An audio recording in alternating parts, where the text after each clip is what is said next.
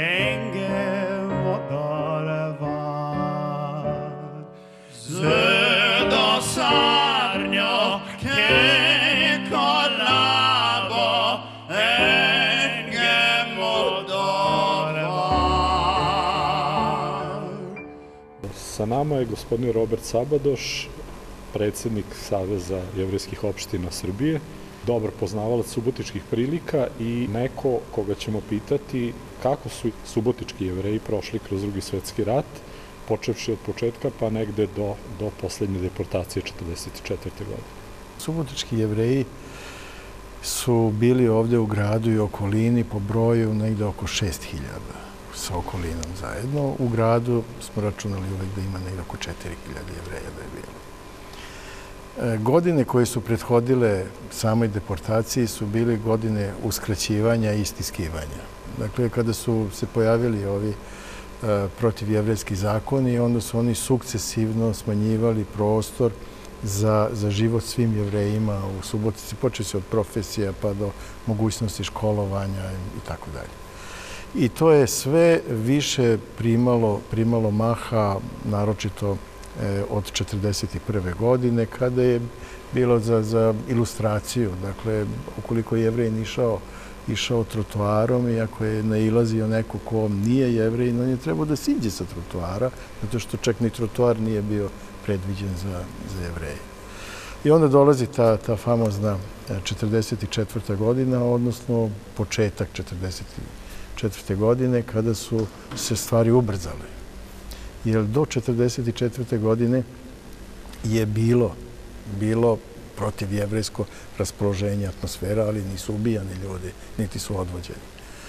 I onda je 44. godine, negde od marta, od marta meseca, od aprila, počelo stvaranje geta, odnosno dobili su naredbu da se udalji svojih, svojih e, kuća, stanova i bio je jedan određeni deo grada predviđen gde mogu da se nastane i to je vrlo brzo, vrlo brzo negde i do, do juna meseca je bilo likvidirano.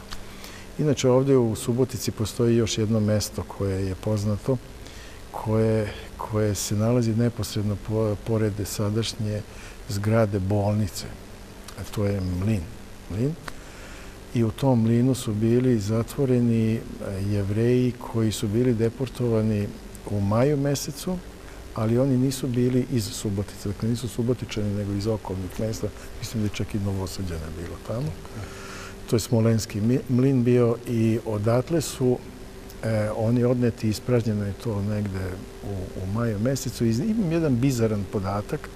Dakle, znam da nakon toga kada su e, jevreji odatle deportovani, onda vlasnici ili korisnici, da me ne, hvataš za reč, su od gradskih vlasti zahtevali naknadu za čišćenje mi, mlina Smolenske.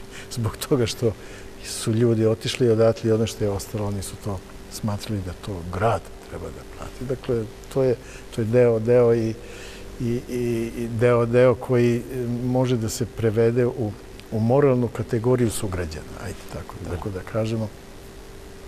Jer imam jednu, jednu sekvencu koju je sad prilika da, da kažem. Dakle, moja mati je iz Sente iz Sente i onda kada, je, kada su njih odvodili, njih su odvodili u koloni, su ih odvodili do željezničke stanice. I kaže, bilo je dvojakih ljudi.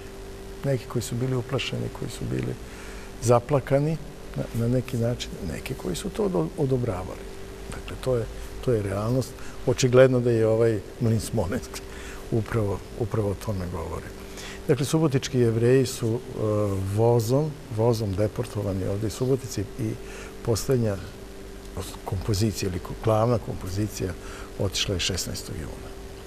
I od onda, odnosno od kad smo se mi vratili nazad, naši preci, od onda uh, je taj dan ostao kao dan sećanja na, na deportovane jevreje zbog toga što je iz Auschwitza, pošto je, da računamo da je otišlo 4000, vratilo se nazad 1080. Znači, svaki, svaki treći je, treći je ostao tamo i nedugo zatim je došla 1948. godina koja je posle toga prepolovila sastav jevreske zajednice ovde u Subotici, zato što su oni svi kolektivno napravili Aliju, jedno 500 njih, zajedno sa poslednjim rabinom Geršonom i sa određenim brojem naših e, tora koji su takođe otišli u napravili Aliju i otišli u Izrael. Na dobrom su mestu. Mi u ovom slučaju i u ovoj situaciji radimo u stvari dve priče, dve dokumentarne priče. Jedna je priča o mojoj baki, Boriški Štar, koja je bila u transportu koji je deportovan iz Novog Sada 26. aprila 1944. sa svojim mužem i sa njihovom čerkom, starijom, sestrom od mog tate.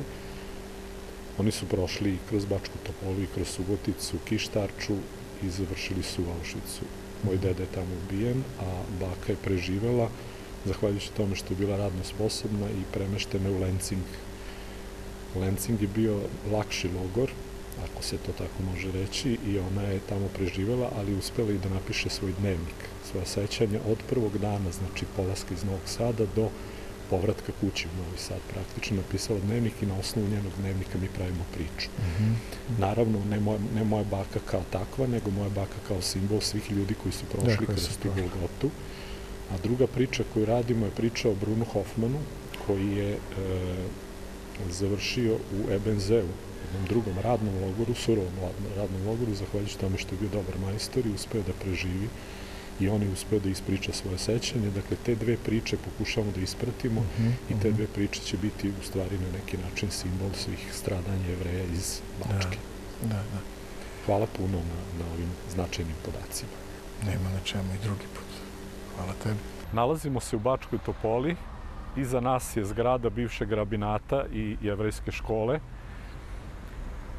Bačka Topola je bila jedna od međustanica velikog transporta novosadskih jevreja koji su transportovani iz Novog Sada vozom do Bačke Topole. Tu su bili smešteni u kasarni i iz te kasarne su, znači aprila 1944. godine, transportovani na železničku stanicu Bačka Topola i odatle su odvedeni u E, prvo u Budimpeštu, to je jedno malo mesto Kištarča kod Budimpešte i zatim dalje za Auschwitz. U tom transportu su bili moji baka, deka i moja tetka. Sa nama se nalazi Janoš Hadži, koji zna detalje o tom transportu. Ja sam u suštini isto tako kao i vi, u neku ruku jako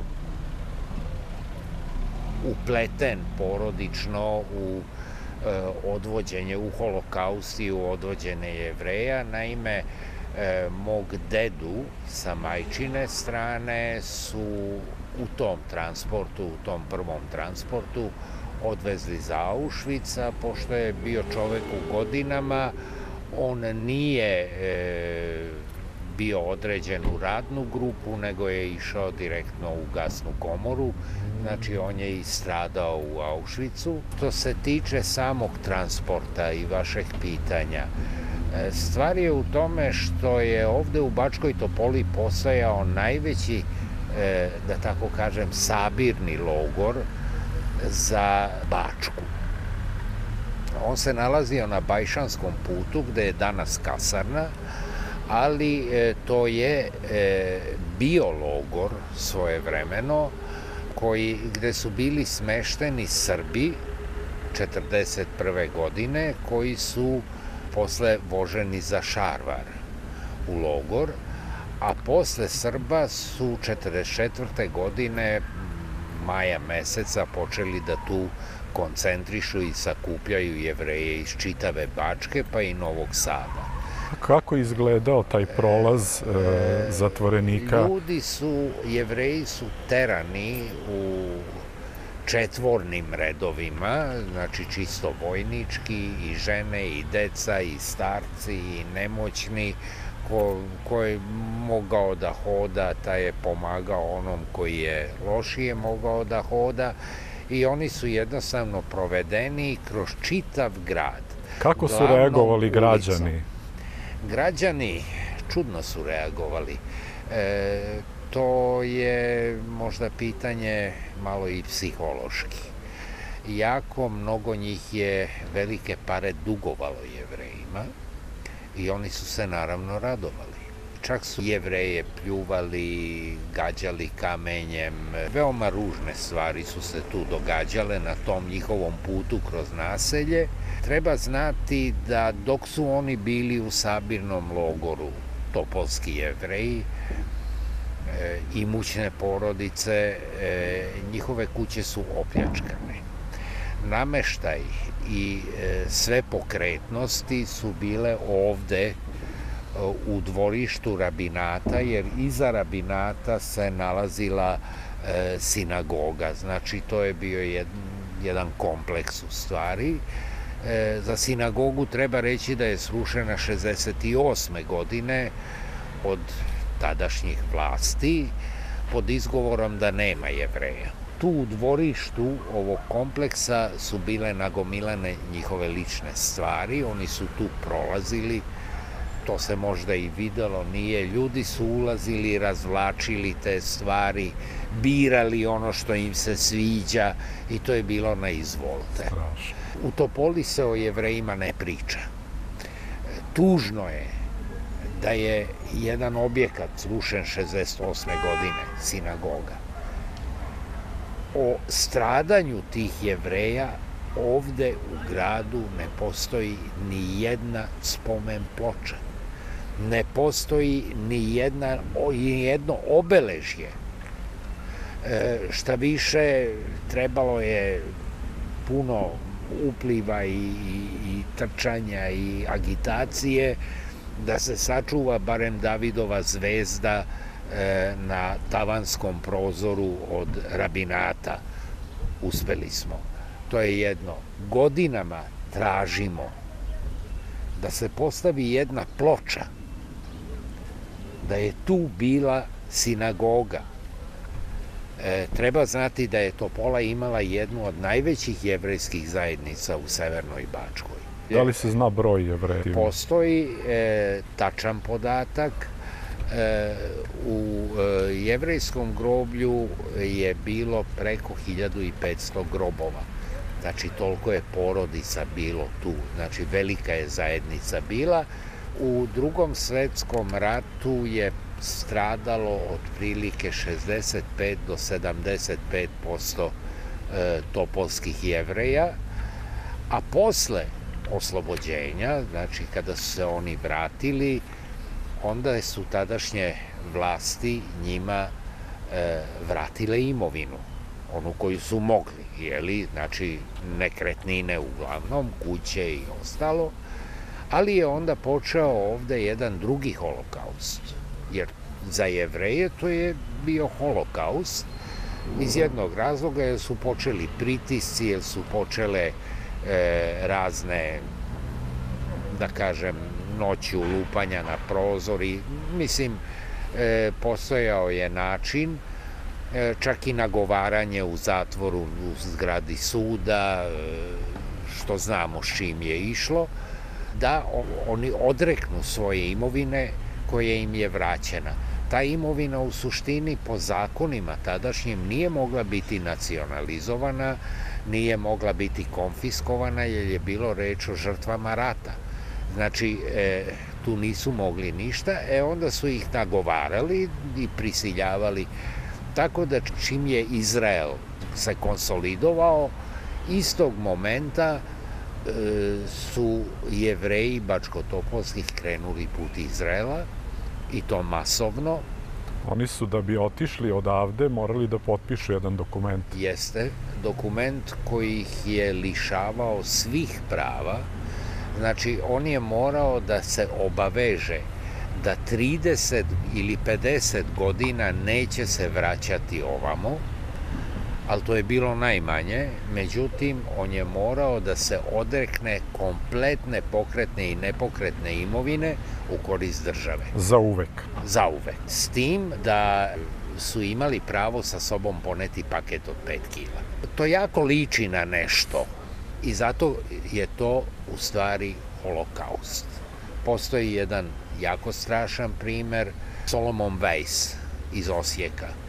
On je imao više fabrika, bio je imućan čovek, preživeo je četiri godine u Dachau, jer od 41. godine e, u Hrvatskoj, u NDH tadašnjoj, jevreji su voženi, imao je sreće pa je otišao u Dachau, a ne u Jasenovac. Preživeo je Dachau, vratio se, dobio je nazad svoju imovinu i kako mu nisu mogli naći ništa drugo, a bio je, mislim, ako neko preživi četiri godine holokausta, njemu, e, njemu ne mogu, njega ne mogu uplašiti. Naravno. I onda su ga optužili da je britanski špijun i streljali. Samo zato da bi mu oduzeli Samo imovinu. zato da bi došli do njegove imovine. Nisu svi jevreji bili bogati, da se Naravno. razumemo. E, ovde su takve zvali tola žido, znači skupljao je perje, bavio se trgovinom, Da. preživeo je i on i dvoje dece i žena i vratili su se u Čantavir. Imao je kuću u centru Čantavira koja je nekome trebala i onda su ga u toj meri šikanirali, e, tukli, proganjali, e, da je čovek na kraju izvršio samoubistvo. Bože. Znači, e, kada govorimo o drugom holokaustu jevreja u tadašnjoj Jugoslaviji, čini mi se da ne preterujemo. Ljudi su ovde smešteni, na železničkoj stanici postoje dva velika magacina. E, jedan magacin e, je bio e, urađen tako da se kroz njega moglo proći. I te ljude su proterivali kroz taj magacin i preko jedne daske su ih terali u stočne vagone. Kada više nije mogo ni šibica da se baci u tom vagonu, onda su ga pomerili malo napred i onda su išli u drugi vagon. E, Prvi transport je veoma zanimljiv jer on je e, i kasnija sudbina tih ljudi, e, oni su otišli pravo za Auschwitz. E, tada su još radile Da li je to, pruge. da li je to takozvani nulti transport? To je nulti transport e, drugog Au, Auschwitza 2. Tako je. E, e sad, e, kada su stigli, e, onda su još na onom starom, staroj železničkoj, prvoj železničkoj stanici istovareni i onda su e, SS-ovci radili trijažu. Znači, koga su oni ocenili e, da je radno sposoban, njega su vodili na jednu stranu e, muškarce. One koji su ocenili da su prestari, nisu sposobni za rad fizički, njih su jednostavno terali pravo u gasnu komoru. Činjenica je da zadnjih godina u junu mesecu se redovno održava memento. Za tu priliku se očisti jevrejsko groblje, sredi se kapela, u toj kapeli je tabla sa imenima koji su stradali u holokaustu. Postoji još jedna tabla, ona je na zidu kasarne na Bajšanskom putu, koja to govori da je tu bio jedan od tih sabirnih logora od 41. godine do 45. po njima, međutim tu je sabirni logor postojao do 47. 8. Naime, posle e, jevreja na red su došli, posle oslobođenja, došli su na red e, takozvani kolaboracionisti, znači to je taj e, ta retorzija e, zbog onog što se u drugom svetskom ratu Da. dešavalo, to su bili uglavnom Mađari topolski, a posle njih su tu smeštene Dunavske švabe i ko je tu preteko logor, preživeo, taj je bio, jeli, otišao je za Nemačku Da. sa tim transportom. Ako su moji podaci tačni, kroz Topolu je prošlo četiri transporta. Znači, e, u prvom transportu su naravno išli topolski jevreji, pošto su oni bili tu pri ruci, a posle su dovoženi iz čitave Bačke i isto tako su prolazili taj put od sabirnog logora do magacina na železničkoj stanici i posle u vagone. Postoji jedna priča iz vagona. Priča koju sam čuo od čoveka koji je bio u vagonu i neko od mlađih ljudi je jednostavno pukao i počeo je da viče pa gde je sad naš Bog? Gde je taj Bog koji dozvoljava da nam ovo rade? I tamo je bio jedan stari rabin koji je rekao loše pitaš, sinko. Znamo gde je Bog. To nije pitanje. Pitanje je gde su ljudi. Jer ljudi nam rade ovo, a ovo nisu ljudi koji ovo čine. Transport koji je krenuo krajem aprila iz Novog Sada preko Bačke Topole, gde su kratko boravili u jednom sabirnom centru, danas je tamo kasarna, transport je stigao u Kištarču. Mi se sada nalazimo u prostoru gde se nalazio sabirni logor. U njemu je bio muški i ženski deo. Moja baka je tu stigla već negde krajem aprila, a tek mesec dana nakon nje je stigao i njen suprug, moj deda, Mirko. Oni su ovde proveli baka skoro dva meseca u dosta lošim uslovima. Pored toga nisu znali šta će se sa njima desiti. Znači nisu znali kakva im je budućnost. Neizvesnost je bila jeziva.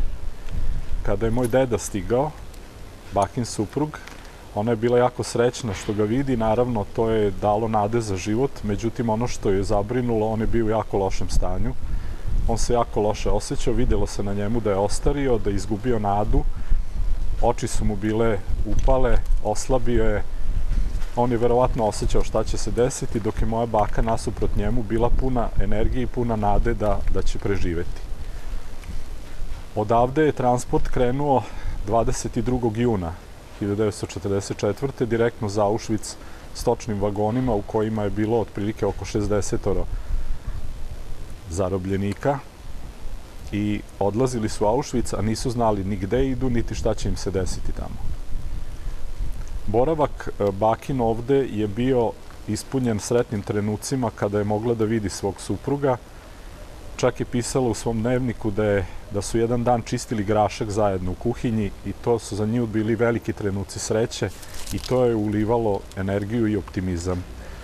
Dok je moj deda bio, izgledalo kao da se predao. Ono što baka opisuje u dnevniku kao posebno potresno je da se desilo da su ovde proslavili i godišnjicu svog braka. Proslavili su je tako što su mogli da se vide. Međutim, njoj je to davalo nade i njoj su to bili trenuci koji su ispunjavali srećom, a on, nažalost, nije delio njen optimizam sa njom.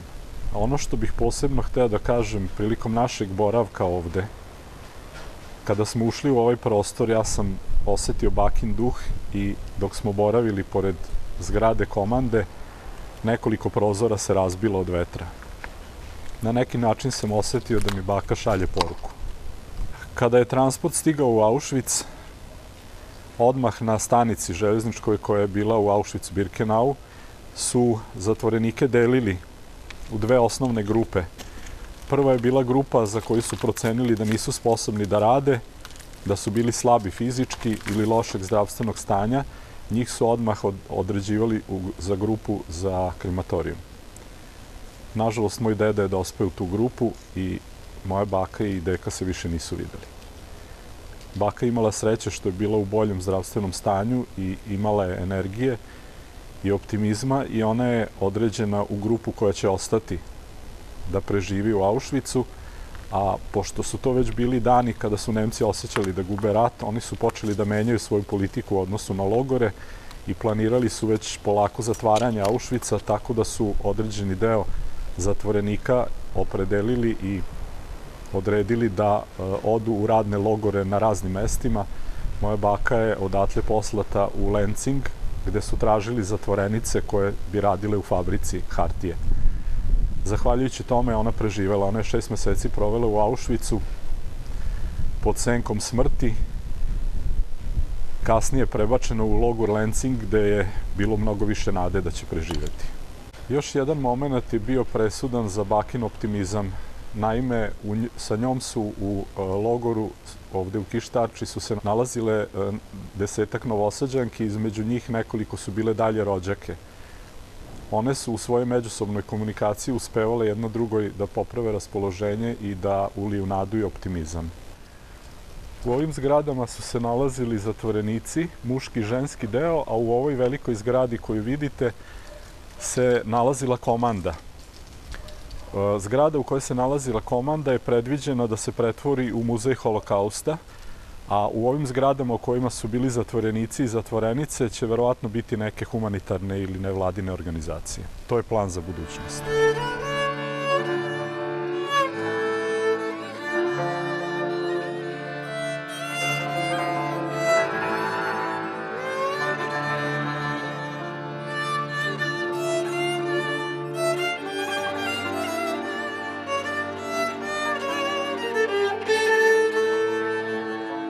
Hor Hašira, Hor jevrijske opštine Novi Sad, neguje jevrijsku muziku i pokušava da sačuva ono što je u Novom Sadu nekada bilo od jevrijske kulture, bar deo toga. Jedan od zadataka je i da se sećamo i lepih i tužnih događaja koji su vezani za jevrijsku istoriju. Nažalost, naša poseta Auschwitzu je vezana za jedan od najtragičnijih događaja u istoriji čovečanstva, ne jevrijskog naroda verovatno i najtragičniji, nadam se i poslednji takve vrste.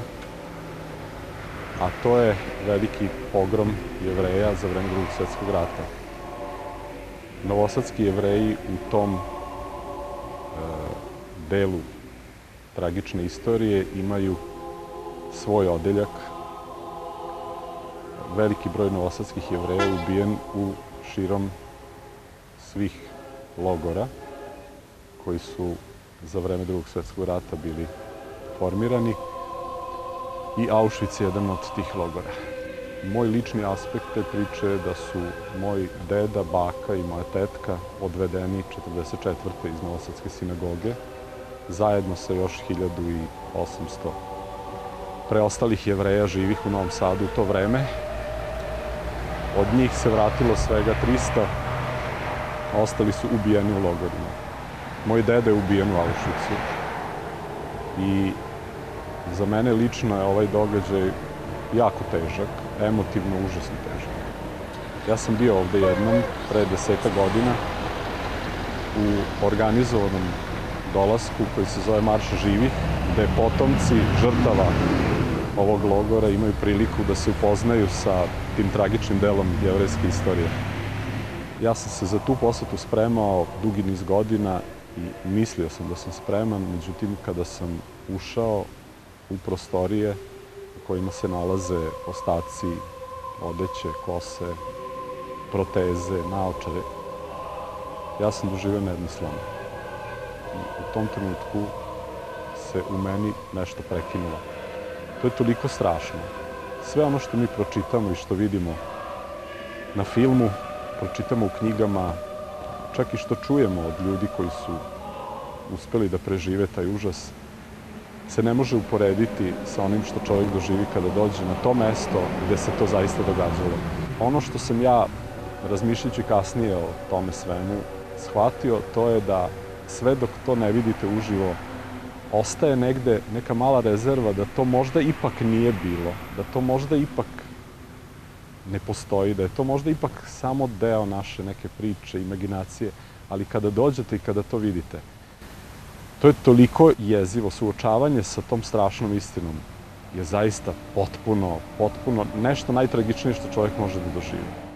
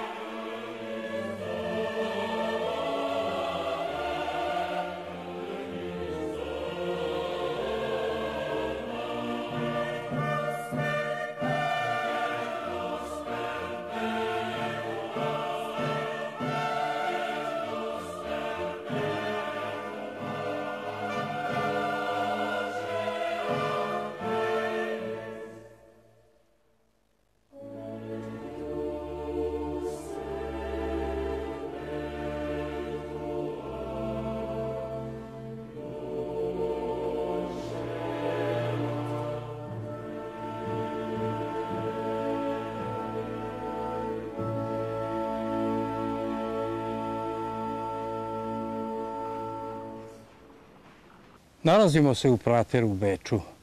Ovo je taj veliki točak i to su te kabine gde vi možete da uđete i onda sa ove pozicije možete da vidite ceo Beč. A zašto nam je za ovu priču o holokaustu ova pozicija, ova kota jako bitna?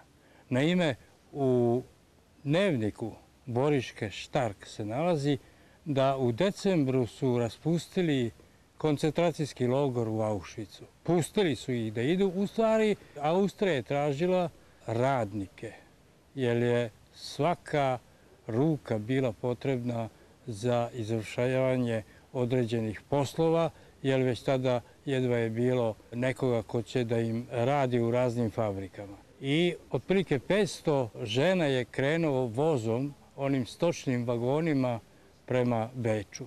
I Boriška Štark opisuje jedan decembarski dan, možda je bio poput ove, kišna, prohladna i ona opisuje da preko tih dasaka u tom stočnom vagonu vidi siluletu bečkog pratera.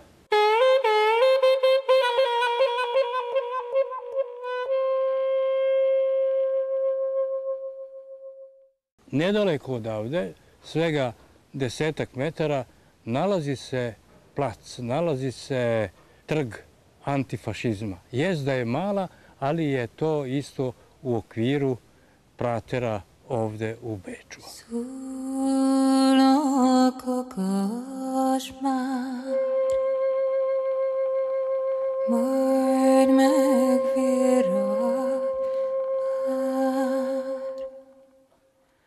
Zöld erdőben, sík mezőben Sétál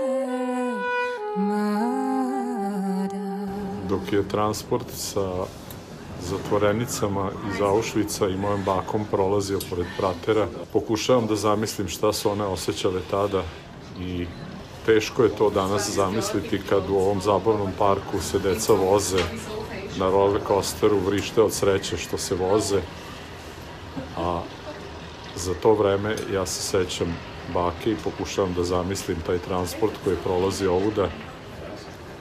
One su kroz rešetke u vagonu videle točak u prateru i znale su da su u blizini Beča. Što je s jedne strane bila činjenica, znači znale su gde su, ali sa druge strane opet nisu znale niti gde ih vode, niti šta će sa njima biti, niti kako će završiti. Nakon trijaže u Strashofu 550 žena je dospelo u logor Lenzing. To je bio radni logor u kome nije bilo ubijanja, ali su uslovi za život i za rad bili vrlo teški. Imali su vrlo malo hrane, svi sve, sve žene su bile neuhranjene, imali su jako malo i odeće, to je dosta jedan hladan predeo u Austriji gde je klima prilično oštra i radile su teško, nije im bilo uopšte ni lako ni jednostavno, ali su imale uslova da prežive i to je, taj minimum je u tom trenutku bio dovoljan. našim putovanjima došlo do, do punog izražaja jedan fenomen. Fenomen koji su nam prikazali srednjoškolci, studenti iz Italije. Oni su preplavili ta mesta sećanja i to je ono u pravom smislu kao što bi i kod nas trebalo da bude ta kultura sećanja na te događanje. Ali najverovatnije koliko sam ja upućen, oni već u školama imaju časove holokausta, na fakultetima se predaje isto jedan semestar holokausta, dok smo mi u slučaju da se u Novom Sadu neuki profesori pričaju neke nebuloze o istoriji jevreja. Jer stići do Auschwitza to je bila jedna velika privilegija u jednom dahu, jer to je jedan složeni put, put jevreja iz Novog Sada za Auschwitz, jer su prošli kroz sistem tranzitnih logora. Mi jako malo znamo o tim transportima, a oni su, e, nažalost, u mnogim slučajevima značili izbor između života i smrti. Mnogi ljudi su umrli pre nego što su stigli do bilo kog logora, jer su uslovi u vagonima bili neljudski. Ljudi su putovali u onoj odeći u kojoj su krenuli od kuće, dolazili su u mnogo drugačiju klimu, nisu imali hranu, vodu, niti WC. Mnogi ljudi su koji su bili slabiji ili bolesni su umrli na putu do, do bilo kog logora. To je put koji je trajao nekad po 2-3 meseca dok su stigli konačno do svog odredišta. Neki su umrli na putu, neki su umrli u tim tranzitnim logorima, a oni koji su stigli do Auschwitza, njih je većinu, nažalost, sačekala teška sudbina. Pre pratera bili smo u Strasofu. Strasov je jedan prelazni logor, to je bila, da kažemo, pijaca za ljude, gde su oni jednostavno tu do- dovedeni, dolazili su seljaci vreme žetve i oni su bili na polje odvedeni, a onima koji su trebali, muškarci koji su malo bili snažniji, oni su odvedeni u kamene lome. I tu se desilo tokom tog prvog transporta iz Baje, da je voz krenuo prema Auschwitzu i stigo je negde u visini Miškolca i tu je sklopljen tajni ugovor između Himmlera. Neko je platio, a zna se da je to bio gradonačelnik Beča, jer je Beč non stop bio potrebne radne snage i taj voz se okrenuo prema Strashofu. Išao je šest dana. Šest dana vrata nisu bila otvorena. Kada su u Strashofu otvorili vrata, onda su konstatovali da je u vagonima 21 mrtvih tela nađeno, a koliko je bilo ljudi koji su jednostavno poludili ili osedili tokom puta, tome se ni broj ne zna. Kada pričamo o kulturi sećanja, pokušavamo da razumemo zašto je generacija koja je prošla kroz drugi svetski rat i kroz holokaust pokušala da potisne iz sećanja te jezive događaje. Ali ono što mi ne smemo da dozvolimo, ne smemo da naša druga ili treća generacija zaboravi šta se tamo dešavalo. Moramo gajiti kulturu sećanja i kultura sećanja mora da uđe u naš prosvetni sistem. I to na pravi način. Sa činjenicama, sa istinom, sa dobrim udžbenicima i sa pravim istoričarima. A Mauthauseni tábornak 50 altábora volt, 50. Ez nagyon fontos ez a szám. U sklopu logora Mauthausen postojalo je 50 logora. 50. Taj broj je veoma važan jer čovek ne može ni zamisliti da je postojao jedan glavni logor kome su pripadali drugi radni logori, po pravilu osnovani u okviru glavnog logora, sa ciljem da koriste ljude kao radnu snagu. Rašireno je verovanje da je uvek reč o logorima smrti. Međutim, tu moramo biti oprezni. Logorom smrti nazvao bih jedino Auschwitz-Birkenau, koji je nastao za masovno uništenje ljudi kako bi im se izbrisao trak. O pratećim logorima treba znati da su služili za iskorišćavanje ljudi, sve dok su oni imali dovoljno fizičke snage za rad. Most a Lenzing voltak bizonyos termelőkapacitások magántulajdonba is. Reč je zapravo o radnim logorima. Postojali su radni pogoni i u privatnom vlasništvu, a njihovi vlasnici su iznajmljivali zarobljenike iz Mađarske, iz Jugoslavije, tačnije iz Bačke, iz Poljske. Te ljude su koristili kao radnu snagu, a SS-ovci su preko njih ubirali prihod. Guzen i Ebenze bili su u nemačkom vlasništvu. Proizvodnja se odvijala u ratne svrhe. Proizvodi su nošeni u magacine ili odmah na ratišta. U nekim slučajevima, tamo gde je postojala industrija tekstila ili papira, na primer, koristila se u većoj meri ženska radna snaga. Na most itt a másik esetben viszont ahol textilipar volt, papíripar volt, és így tovább, például ott például női munkaerőt lehetett nagyobb számba használni. Iz Auschwitz-Birkenaua prelazilo je njih 500.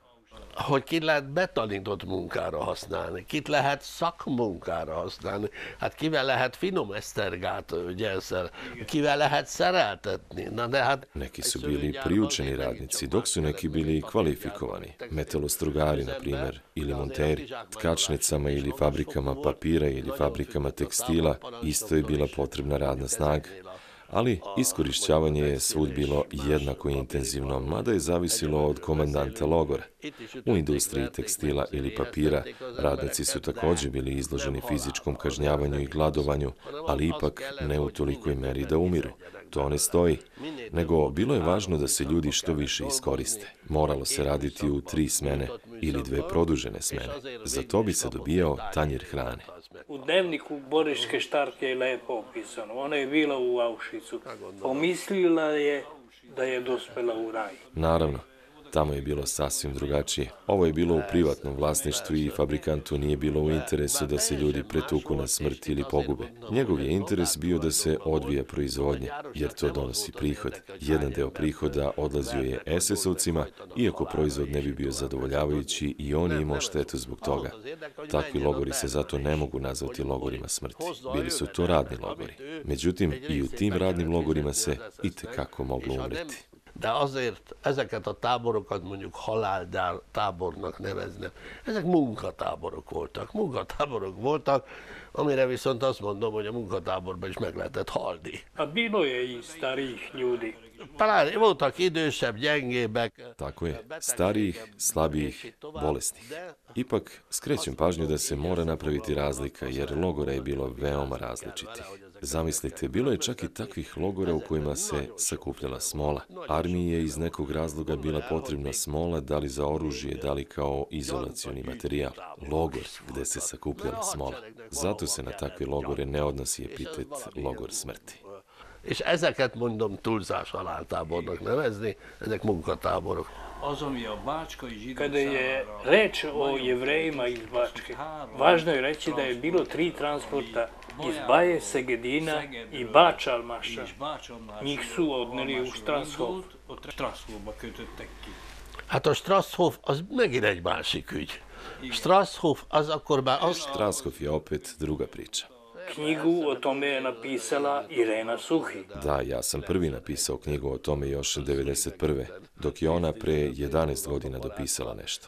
To je sasvim druga priča. I to je bio radni logor. Naime, vojni obveznici su mobilisani u tako velikom broju da su muškarci morali da napuštaju proizvodnju. Zato je nacistički komandant u Beču naredio da se šalje radna snaga. Zato su odvođeni u Štrashov, njih 15.000 i tamo je vršena raspodjela među zemljoposjednicima, fabrikantima. Nekome je bilo potrebno 30 ljudi, nekom 50, za ove ili one poslove. Za poljske radove, jer su oni stigli u leto, kad je trebalo ubirati letinu. Štraskov je bio mesto za raspodelu ljudi, znate. Dolazili bi prikolicama, vagonima, kako ko, i uzimali radnike. Ti ljudi su radili do marta 45. godine, skoro godinu dana, besplatno, kod vlasnika posjeda. teherkocsikkal, ki, vasúti kocsival vitték el az embereket, ezt, ezeket elosztották. És akkor ezek dolgoztak 45 márciusáig, itt egy, majdnem egy esztendőről van szó, ezeknek a gazdáknak a hasznára. Most befejezésül elmondom, az viszont nagyon szomorú dolog, hogy utána, mikor ürítették ki ezeket a táborokat, akkor Terezin. Za kraj ću ispričati ono što je veoma tužno. Ispraznili logore, odveli su ih pored Terezinštata, to je kod Praga, isto u sabirni logor, gde im se ništa više nije moglo desiti. Nije bilo više vremena za bilo šta. Tužno je bilo to što su Austrijanci sve poricali. Kad sam otišao tamo prvi put, 80-ih, rekavši da sam došao da istražim sve o logoru, rekli su mi, das ist kommunistische Propaganda. Itt nem volt semmiféle tábor. das ist komunistiše propaganda. Ovde nije bilo nikakvog logora. Bili ste na otkrivanju spomenika. Naravno, veliki uspeh s njihove strane jeste to da su priznali da je logor postojao. Priznali su sva dešavanja na tom mestu. Posle svih tih godina ne može se više lagati. Ali za to priznanje bila je potrebna sledeća generacija. Primili ste odlikovanje od Austrijske države. Da, dobio sam lepo, veliko odlikovanje. Tu mi je u fioci, mogu vam pokazati. Veliko je kao šerifska značka. Vi se i dalje bavite sa tom problematikom. Da, priznali su rezultate istraživanja. Moje knjige su objavljene i na nemačkom. Za istaknut naučni doprinos odlikovan sam zaista visokim odličjem. Kad bih izašao na ulicu, policajac na ćošku bi mi salutirao. Uspeo sam puno toga da istražim. Tek će sledeća generacija biti spremna da sve prizna. Hát sikerült azért sok mindent föltárni. Stražari su najvećim delom bili Austrijanci. Naručioci prisilnog rada takođe su bili Austrijanci i tako dalje. Bilo im je neprijatno zbog svega toga, što su bili umešani u ta dešavanja. munkáltatók osztrákok voltak, és így tovább. És azért ezt szégyelték, restelték, és így tovább, hogy ők ebbe a dologba benn Ne voltak. razumem kako je Dachau pripadao logoru u Mauthausen. Nem, hát az egy külön-külön. To je posebna priča. Dachau je bio logor izričito za političke zarobljenike. Prvi logor gde su odvedeni i socijaldemokrate, komunisti, levičari i tako dalje. Svi su oni opasni, zato ih prvo vodimo u Dachau. És így tovább. Az mind veszélyes elem, azt oda visszük először Dachauba. U jednom trenutku tamo je bilo 7500 sveštenika. A miért a pappal nem lehetett baj? Što, zar sveštenici nisu predstavljali opasnost? Poljski sveštenici, ali i nemački, velikim delom bili su protiv nacizma. Bilo je među njima i srpskih sveštenika, čak i patrijarh. Naravno, što da ne. Postojala je jaka kolaboracija, mnogo špijuna, bilo je mnogo cinkaraša. Naravno i toga se stide. Ja. Nalazimo se na mestu gde je nekada bio radni logor Lenzing, Petinghof i na tom prostoru pored reke Ager se nalaze jedan radni logor gde je bilo negde oko 500 jevrejki iz, uglavnom iz Južne Bačke, među njima je oko desetak bilo iz Novog Sada. Među tih deset je bila i moja baka. Ona je iz Novog Sada deportovana aprila 1944. godine i tokom transporta ona je dospela u Auschwitz zajedno sa svojim mužem i sa svojom starijom čerkom. U Auschwitzu je muž ubijen, moj deda Mirko, po kome nosim ime. Moja tetka, njihova starija čerka, je odvedena u Dachau i nekim čudom je preživela, a moja baka je nakon šest meseci strahota Auschwitza dospela u radni logor na traženje vlasti iz ovog mesta, jer im je trebala radna snaga. To je bilo pred kraj rata, kada nije bilo dovoljno hrane za vojsku i te žene su uglavnom radile na poljima, radile su teške poljoprivredne poslove, ali su uslovi u logoru bili daleko od onoga što se dešavalo u Auschwitzu. Dakle, imale svaka žena svoj krevet, imale su doručak, ručak i večeru. Nije hrana bila bog zna kakva, ali su one, zahvaljujući ipak relativno pristojnim uslovima u logoru, uspele da prežive rat. Nalazimo se u Austriji u oblasti Salzkammergut ili oblast slanih planina. Iza nas je put koji vodi prema Lincu, od koga se nalazimo na razdaljini od oko 80 km. To je put kojim je prošla treća američka armija pod komandom generala Patona, oslobađajući ova sva mesta, ali usput oslobodio i desetak konclogora koji su se nalazili na ovom prostoru. Među njima je najdramatičniji logor Ebenze. To je bio radni logor u kome su zatvorenici teško radili u podzemnim lagumima u brdu na vrlo niskim temperaturama, umirali su od hladnoće, iscrpljenosti i neuhranjenosti. Iza nas se nalaze planine čiju dramatiku podcrtava i činjenica da se tokom drugog svetskog rata u njima nalazio koncentracioni logor Ebenze u kome je radio i Werner von Braun, čuveni nemački naučnik koji je radio na izradi V1 i V2 i kasnije je preuzet od Amerikanaca, odvedeni u Ameriku. Međutim, postoji još jedan logor, zove se Lenzing Pettinghof.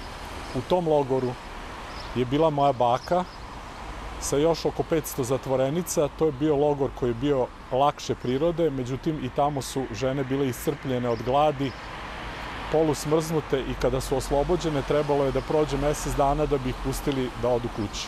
I nakon toga se vratila kući i napisala svoj dnevnik.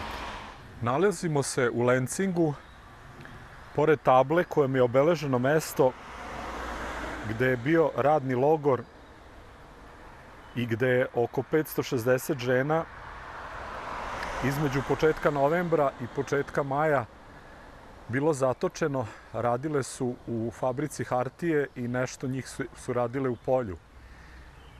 Moja baka je bila u tom logoru, znači negde oko šest meseci i možda baš na današnji dan pre 74 godine oslobodila ih je treća armija generala Patona. Logor Lenzing je oslobodila treća armija generala Patona 4. maja 1945. godine. Međutim, vojska generala Patona je nastavila svoj put oslobađanje narednih teritorija i ostavile su logor oslobođen bez stražara, ali isto tako i bez snabdevanja i bez hrane.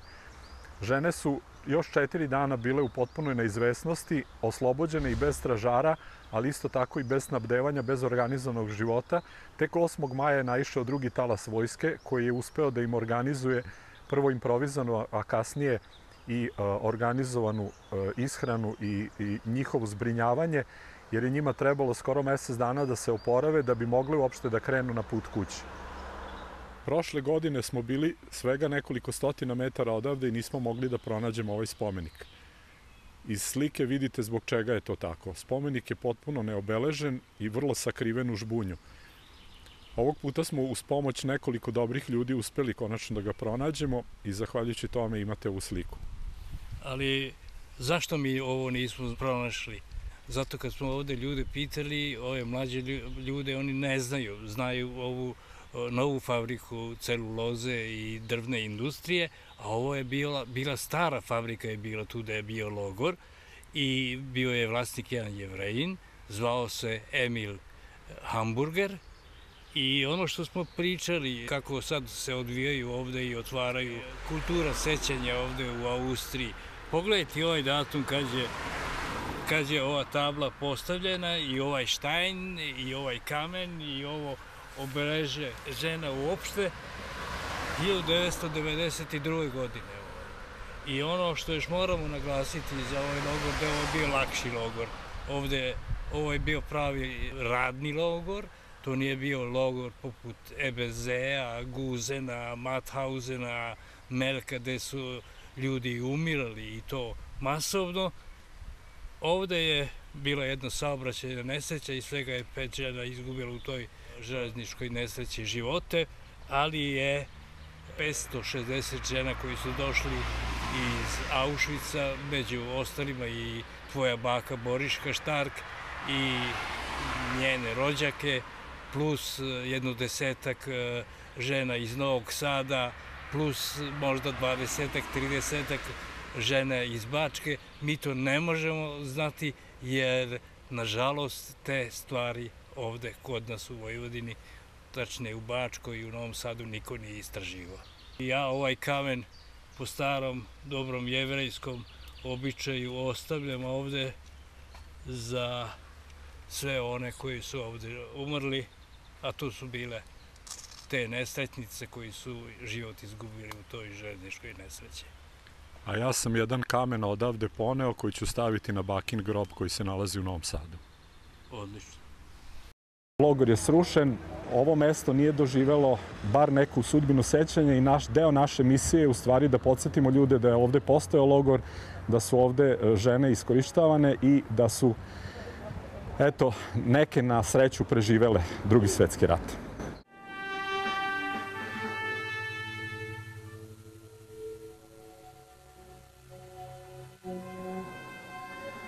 U jesen 1944. Nemci su osnovali koncentracioni logor Lenzing u blizini grada Veklabruk u Austriji. Oko 4. maja 1945.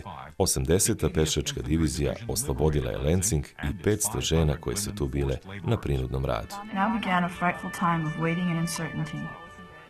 We were locked in the camp without food or contact to the outside world.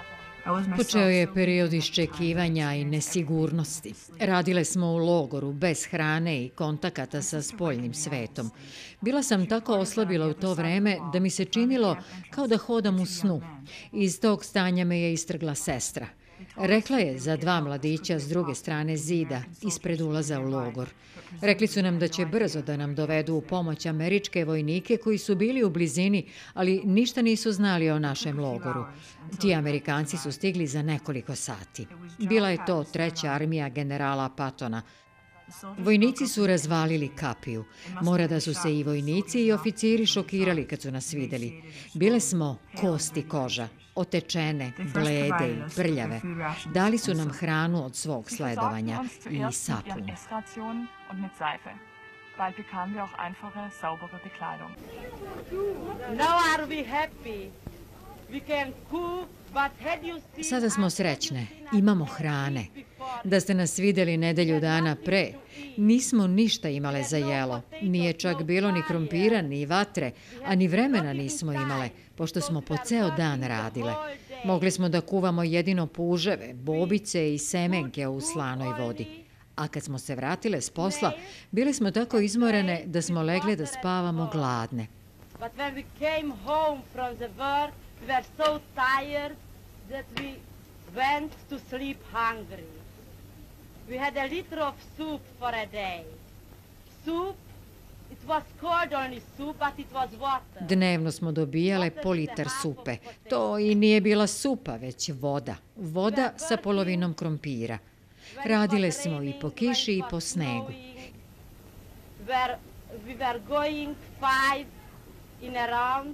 Išli smo po pet u redu i kada bi neka od nas htela da uzbere cvet ili grozd, SS-ovac bi je udario. She was hit by the SS man. They succumbed here. There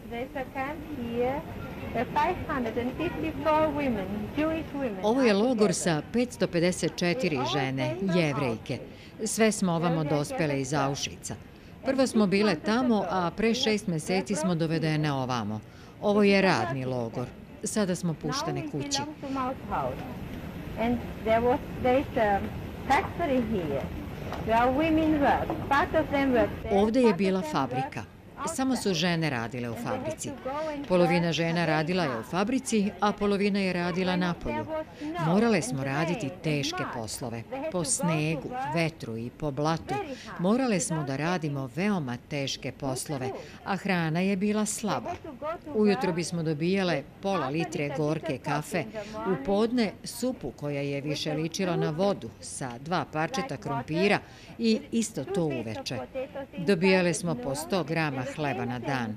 U takvim uslovima smo radile. 100 gram daily. And like we arrived in Auschwitz one year ago, Kada smo pre godinu dana stigle u Auschwitz, ostale smo bez porodice. Ja sam stigla iz Mađarske. Stigla sam zajedno sa svojom porodicom, ali su me SS-ovci izdvojili iz kolone i morala sam preći u grupu mladih ljudi i morali smo se postrojiti u redove od po pet. Neke druge, lepe, mlade žene, a i nešto starije, kao i mlade žene sa malom decom, odvojene su na drugu stranu, što je značilo da su odvedene u gasnu komoru. Odvojene smo od svojih muževa, svojih očeva i braće. Ne znamo o njima ništa. were taken to the other side. That means they were taken to the gas. Till now we were prisoners. No women, no people. Sve dosad smo bili zarobljenici. Ni žene, ni ljudska bića. 5. maja stigla je američka armija i svi smo je pozdravili. Zahvaljujući njima, mi se ponovo osjećamo ljudskim bićima. Doneli su nam hranu, pastu za zube, beli hleb, krompir, jaja, šećer. Dali su bolesnim ženama odeću umesto prljavih rita, mogli su obući bele haljine. Postupali su s njima potpuno drugačije nego Nemci.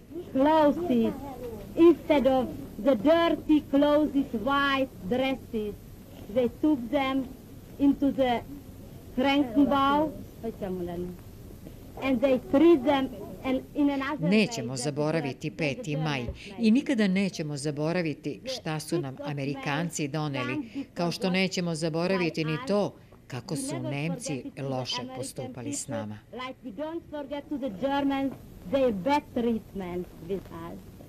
Hello, ladies. I'm Mr. Cheever of the American Red Cross and attached to the military government section of the 80th Infantry Division under Lieutenant Colonel Edmund Ball. Dame, moje ime je um, Čejber. Iz američkog sam Crvenog krsta. Dolazim sa američkom vojnom delegacijom, osmim pešadijskim odredom predvođenim poručnikom Edmundom Bolom. Bićete danas premešteni u jedan lep logor koji se nalazi pored lepog jezera. Američki crveni krst podelit će vam odeću, čarape, obuću, pakete crvenog krsta sa prehrambenim artiklima i dobrom hranom za sve devojke. Bog vas blagoslovio, meni je drago što smo ovde. God bless you. I'm glad we're here. Thank you very much. Thank you very, very much. You can't imagine.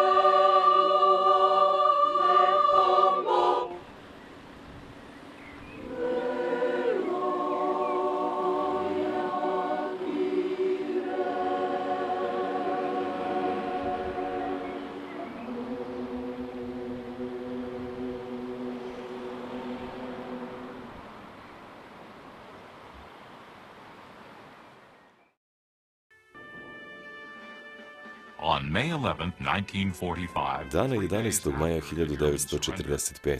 Tri dana pošto se Nemačka predala, sovjetske i američke trupe susrele su se u blizini Lizena u Austriji. Pored reke Ins, u blizini Linca, savezničke jedinice priredile su svečanost da proslave kraj rata. 20. ruska pešadijska jedinica korpusa iz Budimpešte na mostu preko reke Ins sastala se sa 20. američkim korpusom. Komandujući generali dveju armija zajedno sa svojom pratnjom marširali su do sredine mosta gde su zastali. Generali Volker i Birokov su salutirali i rukovali se. Generala Volkera je sovjetski general iznenada poljubio u oba obraza.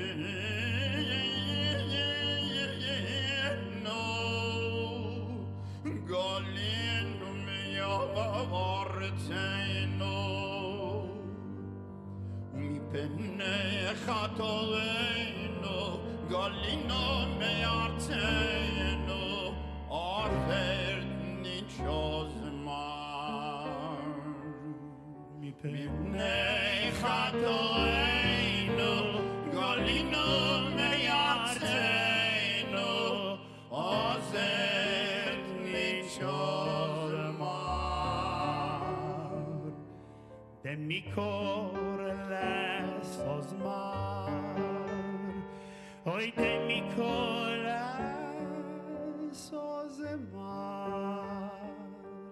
Yibone hamikdosh, irtzik yoite male, Okor les ozmar. Ova tri kamenčića sam doneo, jedan iz Auschwitza, jedan iz Kištarče i jedan iz Lencinga. To je ono što je moja baka preživela tokom drugog svetskog rata. To sam doneo i stavit ću to na njen grob u Novom Sadu.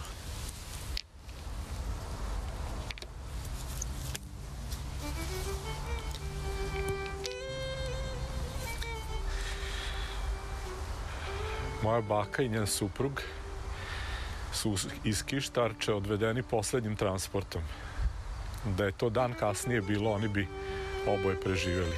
Ovako je moj deda, nažalost, u Auschwitzu ubijen.